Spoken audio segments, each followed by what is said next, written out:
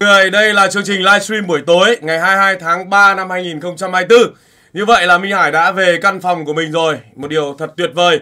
À, đúng là không ở đâu bằng Việt Nam, không ở đâu bằng ở nhà. Hôm nay à, đúng là xém nữa thì mình bị lỡ chuyến bay. Lát nữa mình sẽ kể cái câu chuyện mà mình bay cùng với đội tuyển. Thứ hai nữa là ngày hôm nay mình sẽ chia sẻ với các bạn một cái thông tin mà các bạn rất là mong muốn được biết.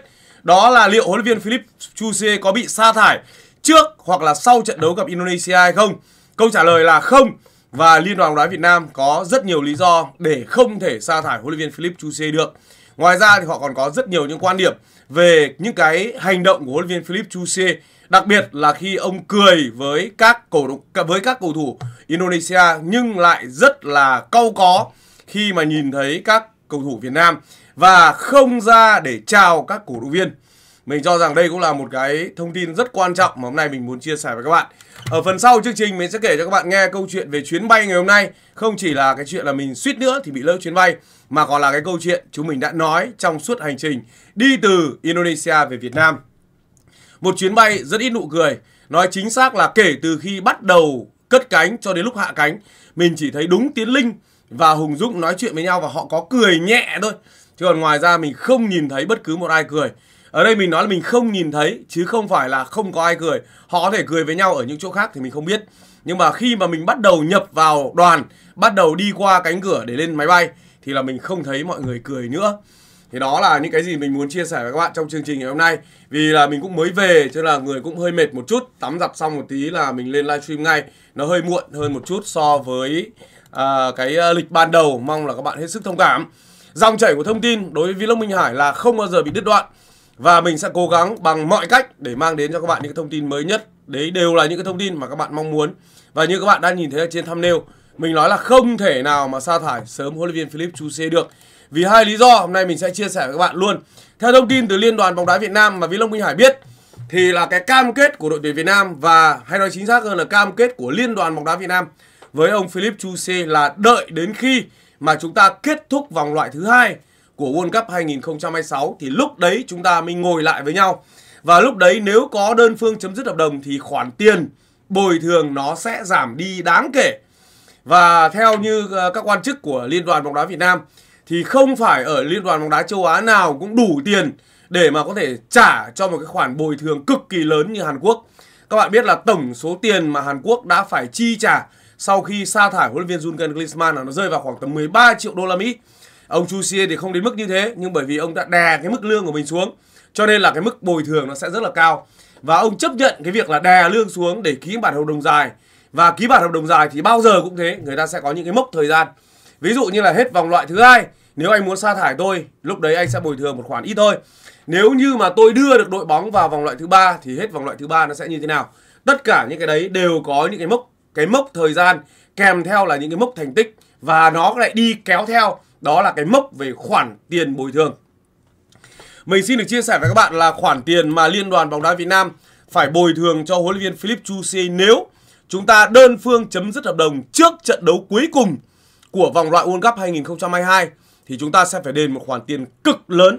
Và đây chính là sự ngáng trở mà Liên đoàn bóng đá Việt Nam đang cảm thấy khó khăn. Liên đoàn mình nói luôn là bây giờ là không có nhiều tiền.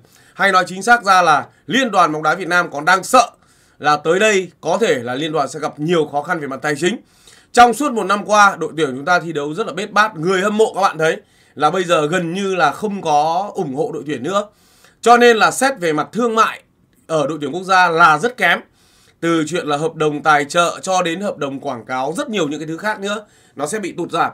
Mà những cái khoản chi cho cho liên cho cái, cái hoạt động của liên đoàn cũng như là cho hoạt động của các đội tuyển quốc gia thì nó vẫn như vậy thậm chí là đang có cái dấu hiệu lũy tiến. Cho nên là mình nói luôn là liên đoàn bóng đá Việt Nam bây giờ người, phải nói là đáng thương nhất bây giờ, người đáng chia sẻ nhất bây giờ và người đang gặp nhiều khó khăn nhất bây giờ chính là phó chủ tịch phụ trách tài chính.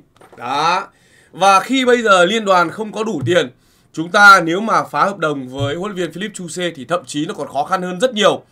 Các bạn biết là đó chính là cái yếu tố mà khiến cho liên đoàn bóng đá không dám đưa ra một cái quyết định nó có tính quyết đoán. Thứ hai, mình có thể khẳng định luôn với các bạn vào thời điểm này là đã có mình đã từng chia sẻ với các bạn về một cổ động viên siêu phíp Pro Max rồi. Cũng đã từng nói đến cái chuyện là cứ sa thải đi rồi sẽ có tiền để bồi thường. thì mình nghĩ là đó cũng có thể là một lời hứa đó cũng có thể là một cái định hướng và đó cũng có thể là một cam kết tùy theo liên đoàn bóng đá Việt Nam sẽ làm việc với uh, xin ý kiến của cổ động viên siêu VIP Pro Max này như thế nào để chúng ta có thể nhưng mà mình nghĩ là thật sự là sẽ rất là khó. Bây giờ chúng ta đã rơi vào một cái trạng thái là không còn cửa nữa rồi. Cái ý thứ hai mà mình muốn chia sẻ với các bạn là Liên đoàn bóng đá Việt Nam không có bất cứ một sự chuẩn bị nào để thay thế huấn luyện viên Philip Chusi vào thời điểm này trước trận đấu với Indonesia. Và có thể sau trận đấu với Indonesia thì chúng ta phải xem. Một là các tập đoàn, các ông bầu rồi những người quan chức họ có ủng hộ đội tuyển Việt Nam hay không, ủng hộ Liên đoàn bóng đá Việt Nam trong cái việc là chạy một gói tài trợ để bồi thường cho ông Chuse hoặc là nếu không thì liên đoàn sẽ phải ngồi lại với ông Chu để làm sao đấy đôi bên thương lượng với nhau ở cái mức mà liên đoàn bóng đá Việt Nam có thể kêu gọi được, có thể huy động được hoặc là có thể chịu được cái khoản tiền đó. Thì mình có thể chia sẻ với các bạn đây là cái thông tin rất mới mà mình muốn nói với các bạn luôn. Đó. Mình uh, nói thẳng với các bạn là mình không có cái gì phải ngập ngừng cả. Cái lý do thứ hai, liên đoàn nói rằng là cái việc mà huấn luyện viên Philip Chuse có cười nói với huấn luyện viên Shin Tae-yang của phía Indonesia hay là những tuyển thủ Indonesia thì nó cũng chỉ là một cái vấn đề lễ tân ngoại giao thôi. Nhưng mà nếu như thế thì liên đoàn sẽ giải thích thế nào về cái việc là ông không ra chào và cảm ơn các cổ động viên. Mà như trưa ngày hôm nay mình đã kể với các bạn rồi, các cổ động viên của chúng ta gặp rất nhiều khó khăn. Hôm nay mình bay cùng chuyến bay thì có rất nhiều các cổ động viên của Việt Nam.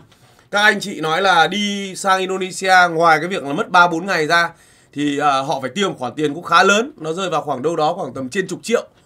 Đó nhưng mà tất cả những yếu tố đấy nó không nó không đáng nói bằng cái việc là các cổ động viên của chúng ta sang bên đấy thì họ gặp nhiều khó khăn.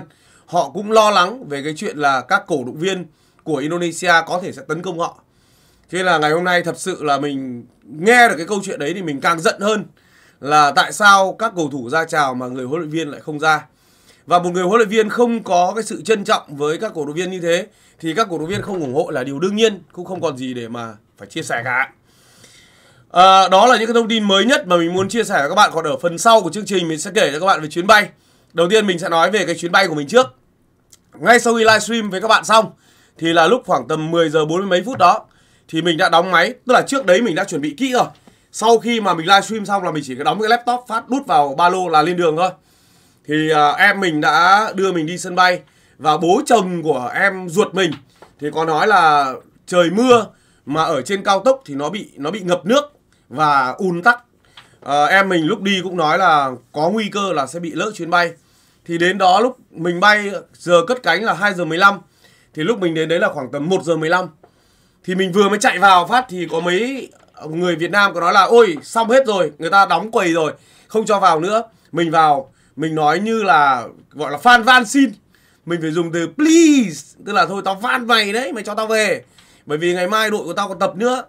Thì nó bảo là không, mọi thứ đã đã đóng cửa rồi. Thì lúc đấy mình cũng nhảy số nhanh, mình gọi điện cho em mình là là bây giờ không bay được, để bạn đấy bạn đến đón mình. Nhưng mà lúc đấy mình bảo, thôi cứ quay lại đi, rồi mình sẽ, ý là quay lại đi để mình sẽ tìm cơ hội cuối cùng. Thì lúc đấy mình tổ mình gọi hai cú điện. Một cú điện cho trưởng phòng các đội tuyển quốc gia, đó là bạn đoàn anh tuấn mình nói là tuấn ơi mày giúp anh một việc là mày nói là anh nằm trong đồ à nằm trong nhóm của đội tuyển quốc gia để anh được uh, một cái cơ chế nó thoáng hơn.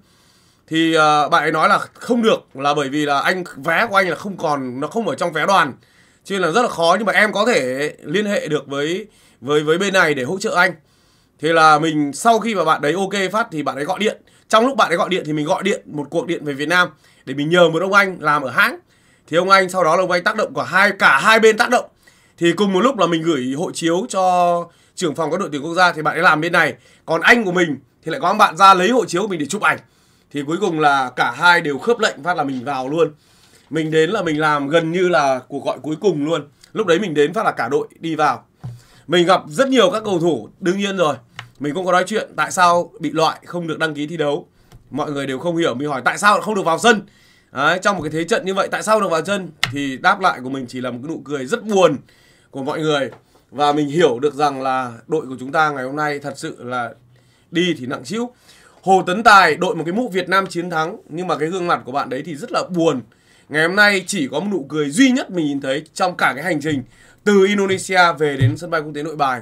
Là mình chỉ nhìn thấy có Tiến Linh và Hùng Dũng hai người đã từng ở cùng phòng dưới thời của huấn luyện viên Park Hang-seo hai người này có nói chuyện với nhau và có cười. Và đấy là nụ cười hiếm hoi mà mình nhìn thấy. À, hôm nay thì thật sự nếu mà bình thường với bản năng của một phóng viên chiến trường như mình thì mình sẽ quay cái hành trình đó. Nhưng mà thật sự mà nói là ngày hôm nay mình nhìn thấy những người em của mình họ buồn quá mình không nỡ. Và mình chỉ muốn là thôi tất cả chúng ta các bạn hãy cố gắng ủng hộ đội mang lại nụ cười cho đội. Và à, cơ hội thì vẫn còn nguyên với chúng ta. Trận tới chúng ta thắng Indonesia thì cũng chẳng có vấn đề gì ngay cả trận đấu tới chúng ta hòa với Indonesia thì cơ hội vẫn còn. Đấy bởi vì chưa chắc Indonesia đã thắng được uh, Philippines. Và nếu mà chúng ta thắng Iraq nữa thì mọi thứ nó cũng sẽ sẽ ổn thôi. Ý mình muốn nói ở đây là gì? Cơ hội của chúng ta vẫn còn. Nếu như chúng ta giành chiến thắng trước Indonesia chúng ta có quyền tự quyết. Còn nếu mà chúng ta không giành chiến thắng trước Indonesia thì chúng ta không còn quyền tự quyết nữa. Thì cái đó là cái mà mình đang rất là mong các cổ động viên của chúng ta hãy cố gắng.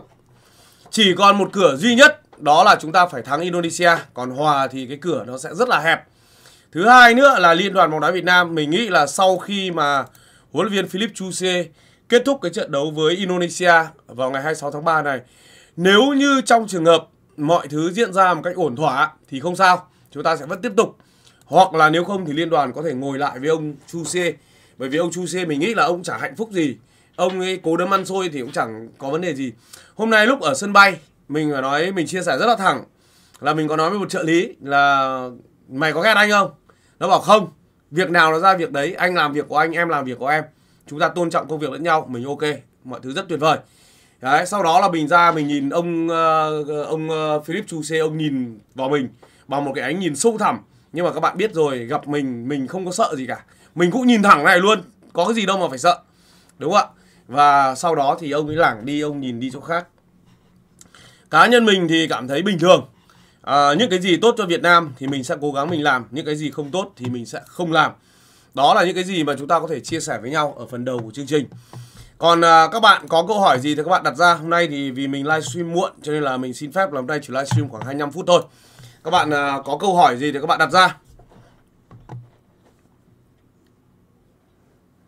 Bạn Hảo Nguyệt có nói là có người nói Minh Hải là người cố vấn cho VFF mời ông Chu Xie về. Minh Hải nghĩ sao về vấn đề này? À, thứ nhất là mình cảm ơn các bạn vì các bạn đã nghĩ rằng mình có khả năng đó. Nhưng mình nói luôn là không. Bởi vì các bạn biết là người mà mình mình thật sự muốn Liên đoàn bóng đá Việt Nam à, làm việc làm việc đó là Mark Winmos. Thật sự là mình mong muốn là Mark Winmos mặc dù mình không có liên hệ gì với Mark Winmos à, một số các ứng cử viên được Liên đoàn bóng đá Việt Nam quan tâm thì người đại diện của họ gọi điện đến cho mình rất là nhiều. Xúc tiến những cái cuộc cà phê ăn sáng rồi nhờ mình đưa thông tin các thứ nhưng mà mình tuyệt đối là mình không. Bởi vì nói thẳng luôn là mình không không vì bất cứ một lý do gì để mình đưa cho liên đoàn những sự lựa chọn là không tốt. Nhưng mà nếu các bạn xem mình đủ nhiều thì các bạn thấy là người mà mình mong muốn liên đoàn làm việc đó là Mark Winmos của Bỉ chứ không phải là ông Philip Chusier Đấy, và mình không có liên quan gì đến cái việc là là huấn luyện viên Philip Philip Chuse và liên đoàn làm việc với nhau. Mình chỉ là người đưa thông tin thôi. Đấy, mình chỉ là người đưa thông tin về cái diễn tiến trong cái cuộc đàm phán và ký hợp đồng. Ngày hôm nay thì có một uh, ủy viên ban chấp hành Liên đoàn bóng đá Việt Nam còn nhắn tin cho mình sau khi mình làm cái câu chuyện là tại sao Chuse lại cười với người Indonesia uh, và lại không không có một cái sự chia sẻ gì với cầu thủ Việt Nam hay là tại sao ông lại không ra chào Việt Nam thì một ủy viên ban chấp hành có nói là Minh Hải làm cái chương trình là rất hay luôn. Và anh sẽ có ý kiến về cái cái vấn đề này. Mình nói luôn là bây giờ rất nhiều các ủy viên ban chấp hành liên đoàn bóng đá Việt Nam là không ủng hộ cái việc liên đoàn bóng đá Việt Nam tiếp tục hợp đồng với ông Chu Xie. Cho nên mình nghĩ là tới đây thì nó sẽ có thêm rất nhiều những cái vấn đề nữa, chứ nó không đơn giản chỉ dừng lại ở đây. Và với tư cách là một người làm nghề, mình sẽ theo sát vấn đề này bởi vì từ nay cho đến sau trận đấu Indonesia thì ngoài cái sự chuẩn bị của đội tuyển cho trận đấu đó thì mình còn phải xem xem là liên đoàn bóng đá Việt Nam có dấu hiệu trong cái chuyện chuẩn bị để tìm kiếm một người thay thế ông Chu Xie hay không. Bạn Huy Trần nói là Mark Winmos hả anh? Đúng rồi. Mark Winmos có gửi uh, có gửi CV đến cho liên đoàn và với một cái mức lương mình thấy là rất là phù hợp chỉ là 800.000 đô một năm thôi. Tức là nó tương đương với khoảng đâu đó khoảng tầm 70.000 đô một tháng. Thì mình nghĩ là với cái mức này là chúng ta có thể chấp nhận được. Nhưng mà cuối cùng thì các bạn hiểu rồi. Nguyễn Khoa anh Hải ơi, cuối tuần này có làm bạn hỏi Vlog Minh Hải đáp không? Nếu bạn muốn thì tối nay là mình lên. Tối nay là mình sẽ lên câu hỏi để tối ngày mai trả lời các bạn tùy các bạn, các bạn thích kiểu gì thì mình chiều các bạn kiểu đó. Anh Hải có ấn tượng có có nói là ấn tượng với ông Mark Winmos hơn ông Chu Xie Đúng. Nếu các bạn xem hồi đầu ấy khi mà các ứng cử viên mà gửi uh, gửi à, CV đến thì mình có nói với các bạn về trường hợp của Mark Winmos. Mark Winmos chính là người mà đưa ra cái uh, Mark Winmos chính là người đưa ra một cái uh, gọi là gì ạ? Một cái đề xuất mà mình nghĩ nó cũng rất là hay. Đó là cái việc phát triển đội tuyển Việt Nam một cách từ từ dần dần. Tức là lấy cái uh, lấy cái uh, bộ khung của thầy Park để lại uh, làm nòng cốt, sau đó là chúng ta trẻ hóa một cách dần dần. Thì mình thấy cái đấy nó cũng hay nhưng mà không biết là họ cái đó họ có gửi cho liên đoàn hay không. Nhưng mà chỉ biết được rằng là ý của ông ấy là như vậy. Bên cạnh đó thì à, cũng chia sẻ với mọi người thêm một chút xíu nữa thôi. Đó là huấn luyện viên Philip Chuse hiện nay mình đang cảm nhận là ông đang hơi có vấn đề về mặt tâm lý. Ngày hôm nay thì thật sự là chưa bao giờ trong suốt nhiều năm qua đi cùng với đội tuyển mà mình cảm thấy nó không khí nó trầm lắng. Cũng chưa bao giờ mình thấy là trong cả cái chuyến đi từ Indonesia về đến tới sân bay quốc tế Nội Bài mình chỉ thấy đúng hai bạn là nhân viên của cái hãng hàng không, là ra chụp ảnh với ông chú c thôi, còn không có ai cả. Còn các bạn tưởng tượng xem thấy Park mà xuất hiện ở đâu, kể cả có đeo khẩu trang đi chăng nữa, thì chỉ cần một giây thôi là đám đông là đã đã đến và họ chấp nhận chụp ảnh mà không cần có mặt thầy Park. Thầy Park đang nhìn mặt bên này, họ chụp gáy cũng được. Thì đấy, chúng ta chia sẻ với các bạn là như vậy. Bạn Thanh Liêm Nguyễn của nó là Minh Vực, Minh Hải binh vực ông phù thủy trắng này à, mình cũng không biết phải nói thế nào nhưng mà đấy là thông tin các bạn ạ. Đấy là thông tin mình chia sẻ với các bạn thôi. Chứ còn mình nói thật đến bây giờ mình ủng hộ cái việc liên đoàn có thể sa thải. Nếu liên đoàn có đủ tiền và có thể kêu gọi được thì mình nghĩ là chúng ta cũng sẽ nên ủng hộ liên đoàn. Và nếu như trong trường hợp mà ok mình cũng không biết đó là bao nhiêu tiền. Nhưng mà mình nghĩ là nếu như bây giờ mà chúng ta mà mà kêu gọi mỗi một thành viên mỗi một cá nhân ủng hộ liên đoàn thì mình nghĩ là khi thừa tiền để sa thải ông Chu Xie. Cảm ơn mọi người rất là nhiều đó. Đó là cái câu chuyện ở phần đầu. Phần sau mình sẽ trả lời câu hỏi các bạn nhé. Bây giờ thì mình xin phép là sẽ chia sẻ với các bạn về Cao Ba Long, sản phẩm hỗ trợ điều trị yếu sinh lý ở nam giới. Các bạn nam bị yếu sinh lý qua thời kỳ đỉnh cao hoặc bị giảm chức năng đàn ông vì bất cứ lý do gì, do tuổi tác, do áp lực, do công việc hoặc là do cơ địa.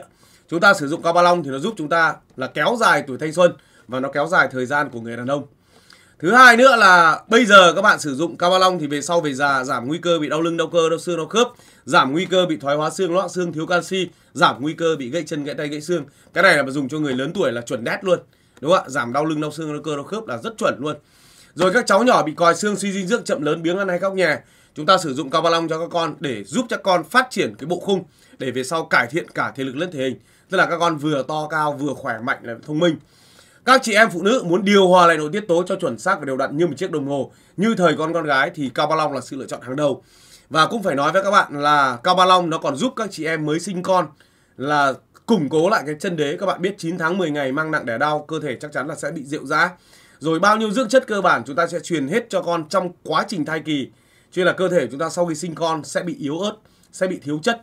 Đây là lúc Cao Ba Long sẽ giúp các chị em củng cố lại cái bộ khung, củng cố lại cái nền, giúp các chị em khỏe khoắn, chắc chắn và vững vàng. Đấy, và nó còn điều hòa lại nội tiết tố cho các chị em, kích hoạt cơ chế như thời còn con gái. Các bạn thấy không? Số điện thoại mình để trên logo 024 7777 8877 và website là đông lá shop.vn. Đây là đông trùng hạ thảo, một sản phẩm giúp chúng ta kéo dài tuổi thọ vì nó bổ sung thêm dưỡng chất, dưỡng chất này bổ nhưng không béo, rất tốt cho sức khỏe. Thứ hai, tăng cường số lượng tế bào tốt giúp các bắp luôn luôn săn chắc, cơ thể luôn luôn tráng kiện. Nó còn bổ sung, nó còn bồi đắp đến tất cả các bộ phận trên cơ thể. Nó kích hoạt cơ chế tự hàn gắn nội thương. Ở chỗ nào có sự đứt gãy về mặt tế bào nối liền vào, chỗ nào khối u để lấp đầy khối u để lại. Các bạn trải qua dao kéo phẫu thuật thì nó bịt kín những cái lỗ giò lại. Và ở đây mình nói thêm là nó bồi đắp cơ thể cho chúng ta để cơ bắp tránh cái tình trạng là ví dụ như là nó không được bồi đắp thì cơ thể của chúng ta rơi vào trạng thái là cơ bắp bị tong teo dẫn đến da rẻ bị nhăn nheo. Thì các bạn tưởng tượng là chúng ta vừa yếu mà vừa xấu. Đó. Thứ ba là nó giúp cho chúng ta tăng cường hệ miễn dịch cơ thể được bảo vệ bởi vòng tròn miễn dịch. Vòng tròn miễn dịch này hoạt động như một hệ thống phòng ngự. Và các bạn tưởng tượng là nếu như bệnh tật tấn công mà hệ thống phòng ngự chúng tốt, chúng ta tốt, chúng ta đẩy lùi nó. Nhưng nếu mà hệ thống phòng ngự không tốt thì nó sẽ bị xé rách. Và như thế có nghĩa là nó, bệnh tật nó sẽ nối đuôi nhau đi vào, tấn công như vào chỗ không người, như là dứt điểm vào khung thành bỏ trống.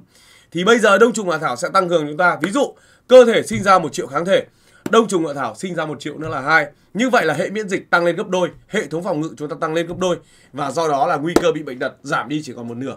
Đấy là lý do vì sao các bác sĩ, các chuyên gia luôn luôn khuyên chúng ta nên dùng. Nó giống như kiểu một khung thành đang được bảo vệ bởi 11 người, bây giờ đã bảo vệ bởi 22 người. Đó, giáo sư bác sĩ là luôn khuyên những người bị bệnh khó chữa, những người mà mới bị bệnh, những người đang chữa bệnh hoặc là những người mới khỏi bệnh, hoặc là những ai đó mà làm việc vất vả nói tóm lại là nó sẽ tăng cường cho chúng ta cái hệ miễn dịch nó giúp cho chúng ta tăng sức đề kháng và nó kéo dài tuổi thọ một sản phẩm giúp các bạn sống lâu một sản phẩm giúp các bạn sống hạnh phúc các bạn mà làm quà tặng quà biếu thì tuyệt vời luôn số điện thoại mình để trên logo 024 7777 8877 và website là đôngashop.vn cảm ơn các bạn rất nhiều Cảm ơn các bạn. Bây giờ các bạn có câu hỏi gì thì các bạn đặt ra nhé. Nếu các bạn xem chương trình các bạn thấy hay, các bạn nhớ like cho mình. Số lượng người xem đang rất đông mà số lượng người like đang rất ít đây này. Đó. Các bạn có câu hỏi gì thì các bạn cứ đặt ra. Lát nữa mình sẽ lại tiếp tục làm chương trình. À, từ ngày hôm qua đến giờ mình làm rất nhiều những cái chương trình triệu view ở trên top top và ở trên fanpage. Đó, những cái chương trình ngắn thôi nhưng mà mình nghĩ là nó sẽ mang lại cho các bạn rất nhiều những cái thông tin hay. Bây giờ thì à, các bạn có câu hỏi gì các bạn đặt ra cho mình nhá. Cảm ơn các bạn rất rất nhiều. Các bạn có câu hỏi gì các bạn đặt ra chúng ta sẽ còn khoảng 10 phút nữa. Mình sẽ cố gắng làm được khoảng đến ờ, đến uh, đến, uh, bao nhiêu nhỉ? Đến 50 nhá. Chúng ta còn 12 phút nữa. 8 giờ 50 thì mình nghỉ. Thế Định nó nói là ông em nói đúng quá, tuyệt vời. Cảm ơn mọi người rất nhiều. Ô, anh Thế Định có phải anh Thế Định ở Úc không? Có phải anh Thế Định của em không nhỉ? Anh Thế Định nếu đúng anh là anh Thế Định thì cái logo của Vlog Minh Hải này chính là cái ảnh mà anh Thế Định đã chụp cho mình vào năm 2007 ở Asian Cup. Bạn Tuyến Kim có nói là sao lại đổ thừa anh Hải ủng hộ hay không ủng hộ ông Chu Xie khi VFF đã chọn ông thì dù không thích thì cũng phải ủng hộ thôi. Không lẽ là đi chỉ trích hoài. À không, em thì quan điểm của em rất rõ ràng. À, cái việc mọi người hiểu nhầm nó là cái việc mọi người hiểu nhầm. À, em thì không có không phải là em không ủng hộ trong Su Xie nhưng mà em ủng hộ Mark Winmore hơn. Bởi vì em mong muốn là có một ông châu Âu thật sự bởi vì các bạn biết là vào thời điểm đó thì ông Chu Xie ông ấy cũng đã rời xa cái sân chơi đỉnh cao hai mươi mấy năm rồi. Mà Mark Winmos thì vừa mới nghỉ đội tuyển Bỉ xong. Phùng Nguyễn có đó là ông ấy mà ở lại thì hết hợp đồng chắc lọt vào top 200 chắc hôm nay mọi người biết rồi đúng không? Chúng ta đã bị trừ đi 15,37 điểm, chúng ta tụt thêm 7 bậc nữa. Và hiện nay thì chúng ta đã bị đánh bật ra top 112 rồi. Chúng ta đang đứng ở vị trí 112. Và ngày hôm nay thì mình cũng đã có một cái phát hiện tối ngày hôm qua, đêm ngày hôm qua thì vì dựng chương trình không ngủ được. Cho là ngày hôm qua mình đã mình đã ngồi mình đã tổng hợp lại. Thì đúng là ông Chu Xie cái khả năng kiểm soát bóng của các đội bóng của ông Chu Xie là rất là tốt. Nhưng mà chỉ kiểm soát bóng thôi không làm được gì cả. Đó, sau đó thì mình còn nói thêm một cái nữa là đội của chúng ta là dứt điểm cầu môn ít hơn. À, bàn thắng ít hơn và thua nhiều hơn, cái đấy thì là rõ ràng rồi. Nhưng mà nếu mà chúng ta nhìn ở trong trên cái hệ quy chiếu của các trận đấu gặp Indonesia, các bạn thấy là ba trận gần nhất dưới thời ông Chu Xie chúng ta thua Ino cả ba. Chúng ta thua trận bán kết ở à, ở SEA Games, chúng ta thua một trận ở Asian Cup và chúng ta thua một trận ở vòng loại World Cup. À, trận đấu ở SEA Games chúng ta không thể bảo vệ thành công tấm huy chương vàng SEA Games vì chúng ta thua Indonesia. Rồi trận vừa rồi ở Asian Cup chúng ta thua họ cho nên là chúng ta không có cơ hội để lọt vào vòng tiếp theo mà chính Indonesia là người đã vào vòng loại thứ à, vào vòng knockout rồi họ lại thắng chúng ta ở vòng loại World Cup bây giờ coi như họ đặt một chân vào với với vòng loại World Cup rồi ở trận đấu lượt về tới đây là họ chơi tử thủ đúng không ạ họ chơi để giữ một trận hòa cái này là khó khăn à và các bạn thấy không là ba trong số 4 bàn thắng mà chúng ta à ba trong số 5 bàn thắng mà chúng ta để lọt lưới trước Indonesia trong 3 trận đấu của ông Chu Xie thì có 3 quả từ những quả ném biên. Các bạn thấy không? Nhưng nó quá kinh khủng chứ gì nữa. Cảm ơn mọi người rất là nhiều. À Thế Định nó là anh ở Hải Dương em nhé. Em cảm ơn anh Thế Định nhiều. Cho tài khoản để đóng góp tiền chịu không nổi rồi. Đấy, các bạn thấy không? Mình đoán là như thế, nhưng mà chắc chắn là liên đoàn sẽ không làm vậy đâu.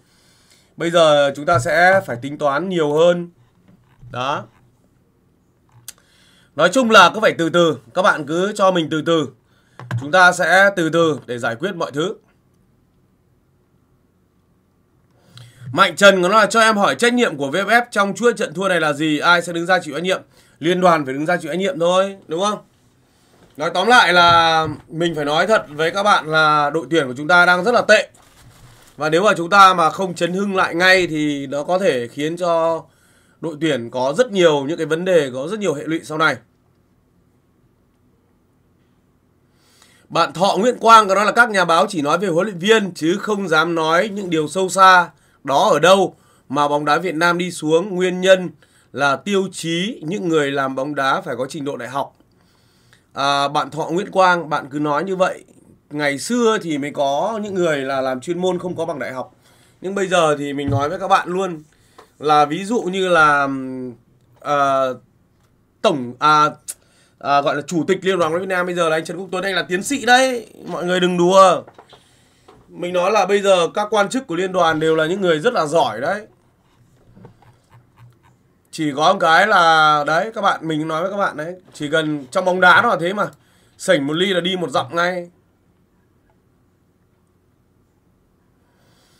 Bạn Sơn Nguyễn 1976 có nói là hôm qua Minh Hải nói sẽ tìm hiểu nguyên nhân tại sao Quang Hải không được ra sân. Vậy đâu là lý do Quang Hải không được đá phát nào?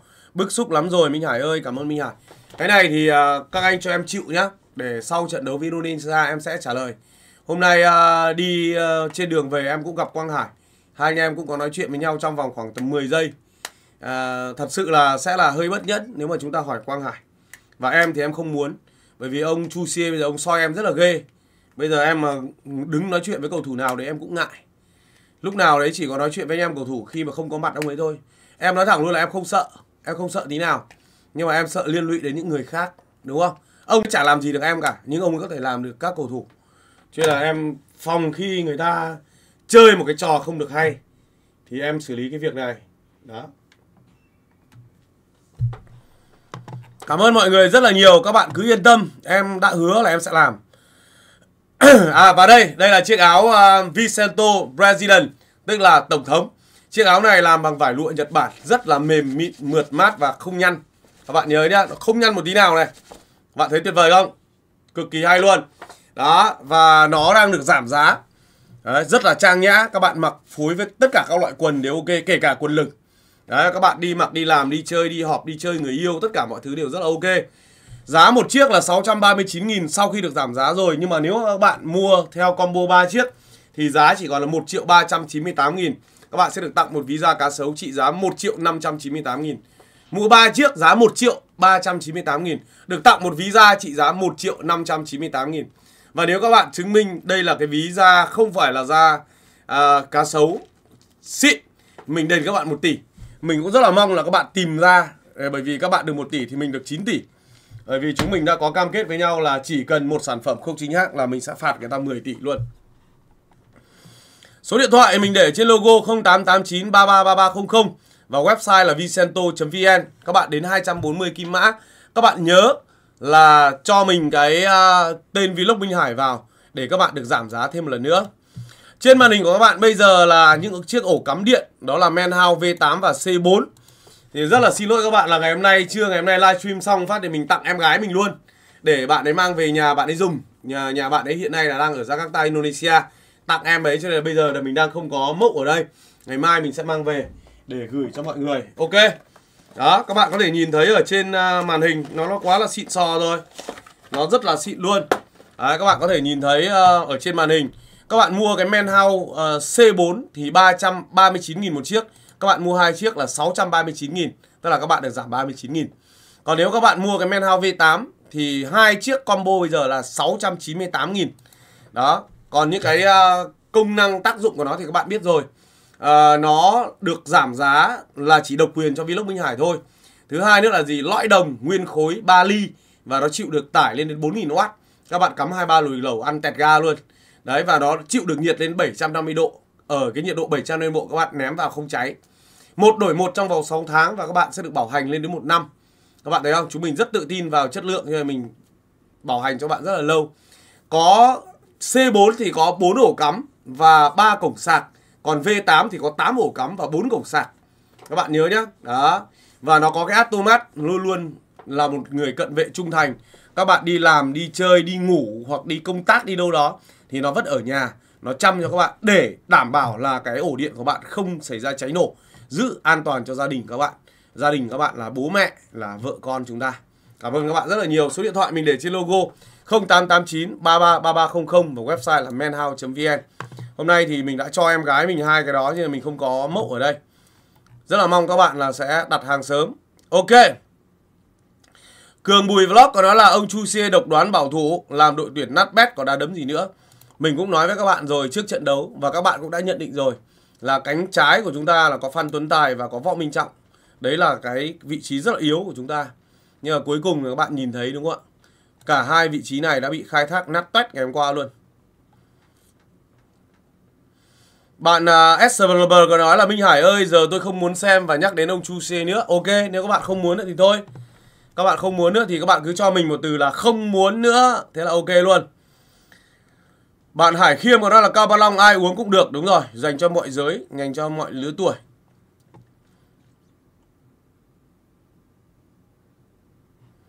Bạn sinh phan có hỏi là Hải dám kêu gọi ở nhà coi tuyển truyền hình vào ngày 26 này.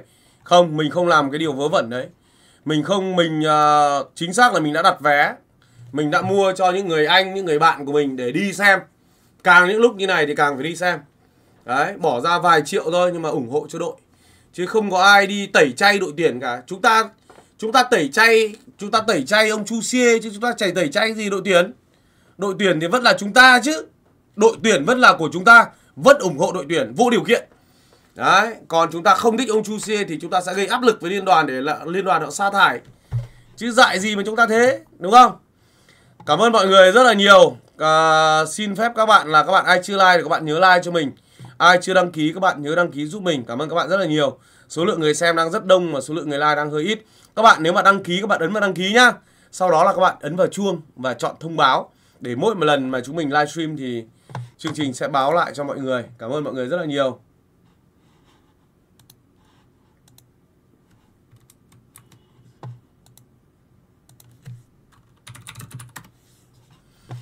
Đó, thì đấy là những gì mình muốn chia sẻ với các bạn. Cảm ơn các bạn rất là nhiều. Bây giờ thì Minh Hải xin được kính chào tạm biệt. Hẹn gặp lại các bạn trong những chương trình tiếp theo. Và chắc chắn trong những ngày tới, Mình còn cập nhật cho các bạn những thông tin mới nhất liên quan đến đội tuyển. Và đặc biệt là chiếc ghế của ông Chu Xie nhá. Cảm ơn các bạn rất nhiều. Bây giờ, Minh Hải xin được kính chào tạm biệt.